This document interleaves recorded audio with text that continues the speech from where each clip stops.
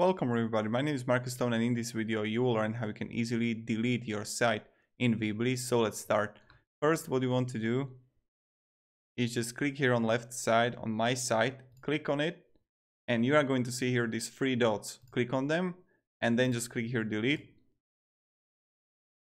And let's wait for it.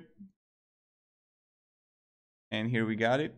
And also I got the last site here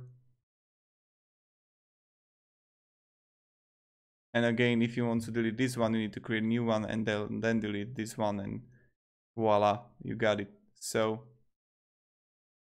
this is how you got it. If you have any questions, ask me down below in the comments. And you just click here on add site. And yeah, that's kind of it. So thank you. Have a great day and see ya. Goodbye. Because like the thing is, if you would like to cancel this one here, you just have to also cancel the account. And yep, goodbye.